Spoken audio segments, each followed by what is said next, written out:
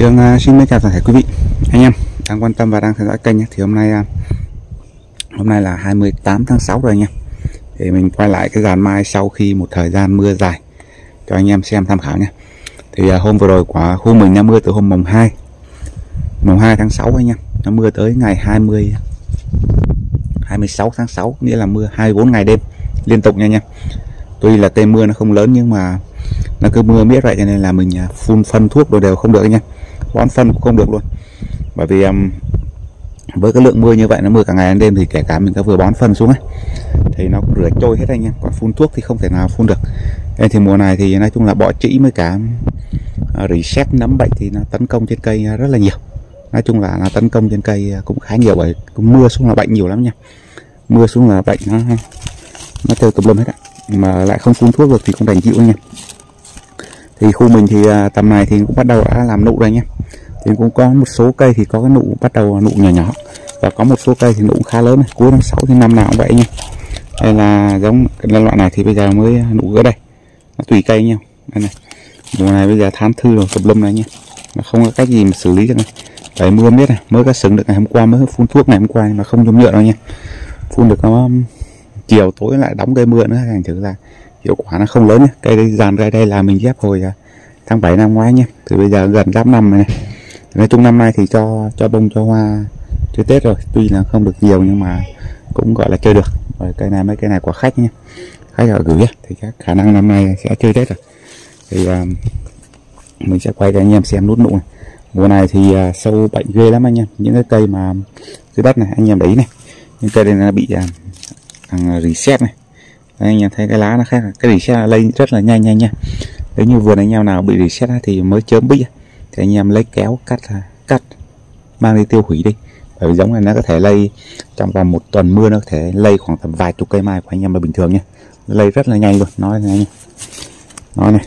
Đây này loại này nó lây cực kỳ nhanh. Để reset nhé thì uh, khu anh em thì uh, khu mình thì nó khác khu nha khu mình thì à, cái thời điểm mưa là nó không giống anh em. Anh em thì mưa ví dụ ba bốn ngày nó tỉnh chứ còn mình đây nó mưa một lần một tháng luôn. Đây, như cái đây thì nó vô nụ cũng lớn này nha đây nha. Loại này thì nó vô nụ này. Đất thì nụ cái đây này. Nụ cái đây thì à, khi mình quay lên đây thì rất nhiều anh em sẽ thắc bảo là khả năng mình sẽ nở sớm không nha anh em. Khu mình nó khác khu nha. À, khí hậu khu mình nó khác à, có nụ cái đây chưa nhôm nhựa rồi nha đây này. Để cho anh em xem là cây đây là nó vô nụ rồi này đó thì à, vô nụ cái này chẳng chẳng ảnh hưởng gì đâu. Đây này nụ này nha nó cứ còn lá nó không nở đâu. Với cả mùa này thì cũng ít bón phân đấy anh em bởi vì thứ nhất là cũng không bón được. Mình um, khu mình hôm nay là ngày à, 28 tháng 6 này sang tháng 7 chắc khả năng sẽ đóng thêm một cây mưa chắc mất một tháng nữa nha thường thường là vậy năm nào cũng vậy. Mưa cả tháng cho nên là cây mai cũng không bón phân được. Bởi vì khi mình bón phân xuống đây này là mưa liên tục như vậy nó cứ ờ, đổ mưa liên tục này là tự cái phân nó trôi hết là cái cây, không kịp hấp thu, hấp thụ đâu nha. Phun lá thì cũng không được bởi mưa thì đâu phun được. Cho nên là mình ờ, thường thường đầu năm là chăm lực lắm, còn vào mùa này là ít chăm là lý do như vậy. Bởi vì trên thực tế bây giờ đâu có cách gì chăm đâu, bọn mình đã bón phân xuống. Thì ờ, nó cũng bị rửa trôi, bây giờ chỉ còn mỗi cách là đầu năm mình hay bón các loại phân chuồng khoai mục ở trên mặt này. Thì bây giờ vô mưa đây này, thì nó bắt đầu nó ngấm, nó tan lần tan lần xuống, cây nó ăn lần thôi nha chứ còn à, bây giờ mà bón các dòng phân mà để rải gốc thì rất là khó. Bởi vì à, bón xong là mưa một phát á nó mưa liên tục như vậy cây nó không ăn kịp anh em. Và mùa mưa liên tục như vậy cây nó không phát triển đâu anh em đấy cái dàn cây của mình. Nó không có cây nào đi tược nó anh em nó đứng cứng ngắc luôn này. Đây anh em đấy này hầu như là đứng cứng ngắc luôn. Cùng lắm nó đi ra được một hai cái lá này mà một hai cái lá đây thì bị bỏ trĩ với cả.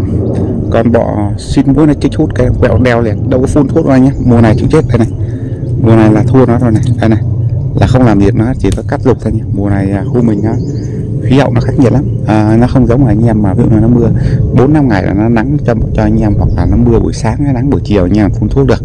Còn khu mình thì nó đóng một phát một giống như hôm vừa rồi này là 24 ngày đêm. 24 ngày đêm nha anh em. Mưa không lớn không nhỏ. Cứ lai ra mưa miết vậy thôi thì nếu mình không phun thuốc được. Thì mùa này thì à, cũng có một số cây mình nút nụ cái đây rồi này. Đây nút nụ rất là lớn này. đây này nha nhưng mà nó không có nở đâu nha bởi vì à, khu vực mình khí hậu nó khác. À, mới cả hai là mùa này không bón phân á. mùa này thì hầu như là như khu mình á, thì nếu mà có bón á, những cái cây nào mà nụ nó chưa vô mấy á, thì mình sẽ đi thêm à, một đến hai đợt lân nữa. Còn à, đối với những cây mà nụ này thì mình bỏ luôn anh em không bón phân. Chỉ bây giờ chỉ canh me mà thời tiết mà nó nó không bị ảnh hưởng à, mưa thì mình à, đi à, phun thuốc sâu và thuốc bệnh thôi chứ còn cũng không bón phân vào thời điểm này. Bởi vì um, thứ nhất là nút nụ nó lớn hai này là mình bón phân là sang tháng 8 nó khi nó sẽ bung nhanh nha Đấy, chứ còn nếu mình không bón phân thì nó sẽ không bung đâu, nó không đủ lượng phân nó nuôi. Thì uh, nó chỉ nuôi được cái dàn lá và nuôi được cái dàn nụ nó cầm chừng như vậy thôi. Nút nụ vào cây cái dàn cây của mình thì à, nụ lớn rất là nhiều rồi. À, có một cây giống đây là bình định này. Giống như bình định thì anh em thấy nút nó cũng chả bá này, này. Nhưng mà năm nào anh anh mình cũng quay cho anh em xem rồi. Có năm th cuối tháng 5 là mình đã vô nụ ở đây rồi nha nhưng đến tết nó vẫn y xỉ như vậy thôi. Còn, còn thậm chí mà vặt lá không kịp nó còn chậm nở nữa cơ.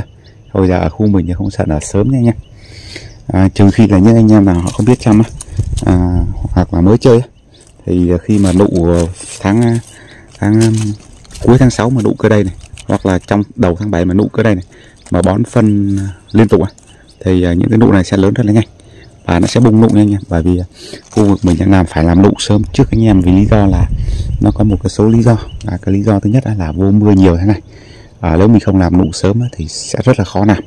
Bởi vì à, mưa nhiều sẽ không có xử lý được phân thuốc thì để cây tự nhiên hết này nha cho nên là làm là khu mình ở đầu năm chăm lực cây lắm chăm nó nhanh lắm.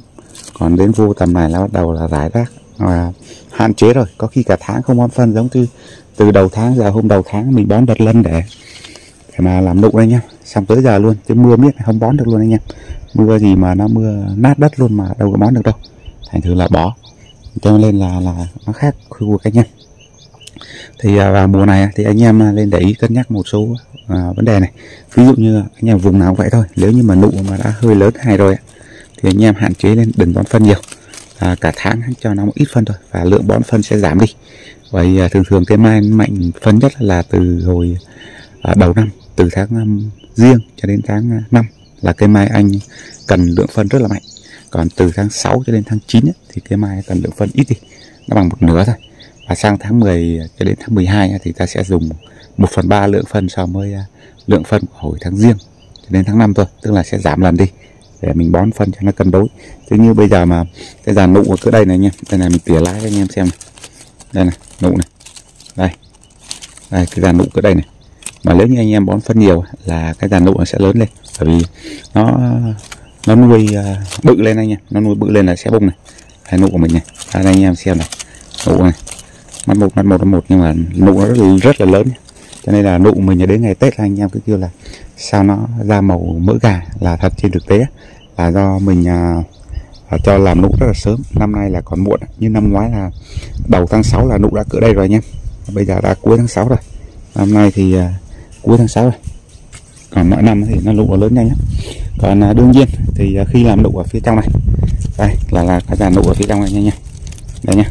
Thì à, đối với những cái cành mới ra này cành này mới ra mà không phun thuốc đây nha. À, mới ra này thì mai mốt nó vẫn vô nụ bình thường nhá sang tháng 8 tháng 9 nó vẫn vô bình thường nhá bởi vì nó sẽ cái nụ này nó sẽ dừng lại để nó nuôi cái mấy cái nụ này. Cho nên là sẽ đều nhau hết anh em không phải lo cái chuyện mà đều mới không đều đâu. Và mùa này thì um, à, chuẩn bị sang tháng 7 rồi thì anh em à, cũng lên là bón phân là giảm liều lượng. Là theo như cái kinh nghiệm của mình thì anh em lên giảm liều lượng các loài lượng liều lượng phân bón à, ví dụ anh em đi phân gì cũng vậy thôi. Khi bón thì ta lên à, chia nhỏ ra. Ví dụ như hôm trước một chậu như thế này à, mình xử lý là khoảng tầm à, ví dụ chậu này chậu 60 mình bón là phân 30 10 10 đi hoặc là phân NPK đi thì mình bón là một thìa ăn cơm trên một chậu như thế này.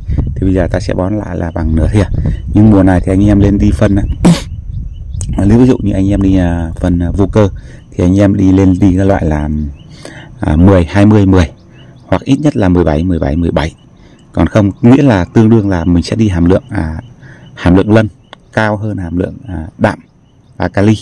Vì à, tháng này thì cần ưu tiên là làm nụ là một với hai hàm lượng lân nhiều thì nó sẽ làm ấm cái bộ rễ mai. Cái thực tế mùa này cây mai mưa nhiều nó bị lạnh gốc anh em nó không phát triển đâu. À, khu anh em thì à, vừa mưa vừa nắng thì nó còn phát cho khu mình không có đi đâu nha. Cây nào nó đứng đứng cứ này thôi. Nó đi thả lắm anh nha. Nó đi được à, hai cái lá này ra xong rồi nó đơ thôi. Nó không đi được đâu. Xong rồi lá nó chuyển già thôi. Nó không bung đây như vậy này. Thì cây nào hầu như vậy kể cả cây trồng dưới đất kia thế anh em cây làm đất này anh em thấy là cái màu lá nó vẫn gì vậy? Và mùa này thì không à, phun thuốc được anh em. Cho nên là à, cái bệnh à, reset này này. Đây để mình quay cho anh em xem cái bệnh reset nó làm cháy cái đọt mai này cây này cây dưới đất này. Đây này nha. Cây này thì rất sung nha. cành này, đi dài dài dài kinh khủng mà mình cắt này đây này anh em cắt mà mình chưa tiêu hủy kịp này. Đây này đây là reset nha nhé thì loại này lây lan rất là nhanh. Đây này nó có thể làm khu đọt và chết đọt luôn. Đây thì anh em để ý này. Đó khu đọt chết đọt luôn. Đây là reset này. À, trên đầu nóc trên cây vậy là và, và những cây dưới đất đều bị này. Cây trên kia cũng bị cả. Lý do thứ nhất là, là mình không phun thuốc được. Với thứ hai là những cây này thì à, nó ngoài đất mình không chăm anh em à, thường thường nó sẽ bị lây. Ví dụ như cây này bị thì sẽ bị lây sang cây này. Cây này thì mới ghép là bắt đầu bị luôn này nhé mới ghép bắt đầu bị luôn này bởi vì à, nó lây nó lây qua thì à, tốt nhất là mình nên phun phòng. Và bệnh reset này thì anh em phun mà để đạt hiệu quả cao thì anh em phun là tin super sẽ cao hơn. Tin super nhé anh em lên à, google hay là chạy ra tiệm à, phân bón bảo vệ thực vật ấy, đó là bán cho thuốc à, tin super. Thì như cái dòng tin super thì nó sẽ hạn chế được uh, các bệnh ví dụ như là reset hay là À, nấm hồng. À quên reset nấm hồng với cả thán thư thì nó nó sẽ khắc phục được ba vấn đề đấy và mùa này thì chủ lực nhất là bệnh à, reset và thằng thán thư là hai loại bệnh mà có thể coi là nguy hiểm nhất trên cái này vào mùa này. À, riêng reset thì nó có thể làm nếu bị nặng thì nó có thể làm chết đọt chết đọt mai. Cộng thêm là có thể là hư nụ và thán thư cũng vậy. Nó cũng làm chết đọt à, mai và làm hư nụ. Cho nên là anh em lên mua tin super về phun thì ờ, độ hiệu quả sẽ cao hơn. Và lên ờ, áp dụng vào mùa mưa thì anh em lá mà khi lá đã già thế này thì anh em nên áp dụng là 10 ngày phun một lần tin super à, hoặc là các dòng thuốc bệnh mà hiệu quả cao thì ờ, lên phun 10 ngày một lần với điều kiện là không mưa. Còn nếu mà mưa như khu mình thì bây giờ vứt luôn nha bỏ luôn. Khu mình bây giờ bỏ luôn cứ um, nắng chừng nào phun được đấy thôi. Hôm qua này mình mới phun được thằng à, tin super một lần. À, rồi không biết là chừng nào phun lại thì ngày hôm nay là thấy này thì trời nó vẫn đang mưa nha vẫn đang mù đen này. Đó, anh em đấy này. À, khu mình mùa này nó không có nắng đâu nha cho nên là là chăm mai ở khu vực mình nó cũng khá vất vả vào mùa mưa. Mùa nắng thì chăm sao cũng được. Chỉ cần uh, phun bó trĩ rồi bón phân bón thuốc vậy là cây nó phát thôi. Chứ còn vào mưa đây thì chẳng ai nói tài giỏi đâu nhé nó mưa mà nó bị bù đầu bù cổ đâu làm việc đâu nhé không có không phun thuốc không biết chỉ có mang kéo ra xong rồi à, bấm cắt này thôi cắt dục thôi. Thế bây giờ chịu à? Có phun thuốc vào đâu. Đấy mà hôm rồi có giải vôi thì phòng chống được thôi. Vôi thì nó chỉ là phòng chống và hạn chế thôi chứ nó không thể nào là khắc tinh của các dòng bệnh được. Và rồi video của mình đến đây cũng à, xin phép tạm dừng. Cảm ơn tất cả quý vị anh em đã quan tâm và theo dõi kênh. Thì nói chung thì chăm sóc mai thì nó cũng à, dễ nhưng cũng khó. Vì vậy cho nên là anh em à, lên thường xuyên vào mùa mưa khi lá già thì lên à, phòng bệnh cho kỹ à, cứ khoảng tầm tuần đến 10 ngày ta lên phun tiến hành phun thuốc bệnh một lần thì nó sẽ hạn chế được tâm bệnh thôi. Còn thứ hai là về bọ trĩ với cả nhện đỏ mùa này thì nhện đỏ nhiều hơn. Thì anh em à, lên à, tiến hành là tuần đến 10 ngày phun dặm một lần để cho cây mai mình là tránh bị bọ trĩ nhện đỏ. Rồi còn phân bón thì mùa này lên hạn chế à, 10 ngày đến nửa tháng hãng bón một lần. Mà khi bón thì ta sẽ giảm liều lượng bằng một nửa liều lượng thôi. Và đương nhiên thì những cái cây nào mà lụng lớn á, thì anh em à, hạn chế bón phân. Tháng đi một lần. Giống như cây này của mình thì nụ nó vẫn còn con con anh nhé. Này, nụ mới thế này thôi. Đây nụ mới thế này thì nó mới là thế này này nhé. Đây nụ mới thế này thì à, mình vẫn có thể là 15 ngày bón lần một lần. Đây là đối với những cây mà ít nụ. À, thưa không phải ít nụ mà nụ nhỏ. Những cây nụ nhỏ. Đây này. Nó còn bỏ xít nó cắn này nhỉ đối với cây nụ nhỏ thì mình lên 10 đến 15 ngày à, bón một lần. Còn đối với những cây nào mà nụ đã lớn rồi thì nên hạn chế sử dụng các phân bón trên cây mai bởi vì vừa nếu như anh em mà bón nhiều sang tháng 9 là hoa nở hết nha anh em. Rồi xin tổng chào toàn thể quý vị.